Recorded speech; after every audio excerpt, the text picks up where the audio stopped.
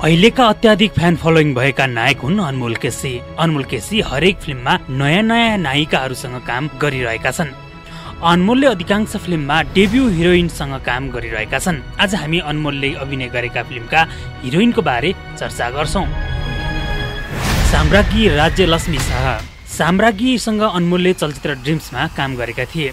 Dreams साम्राज्ञीको लागि debut चलचित्र थियो जुन चलचित्र बक्स अफिसमा सफल भयो। आना शर्मा। आना शर्मासँग नायक अनमोल केसीले चलचित्र जेरीमा काम गरेका थिए। आनाको लागि पनि जेरी फिल्म डेब्यू नै थियो।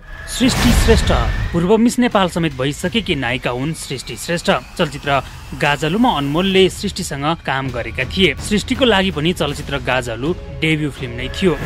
अदिति बुढाथोकी बलिउडमा सङ्घर्ष गरिरहेकी अदिति बुढाथोकीसँग अनमोलले चलचित्र क्रीमा सँगै काम गरे। अदितिको लागि क्री नेपाली फिल्ममा डेब्यू फिल्म नै थियो। उपासना सिंह ठकुरी।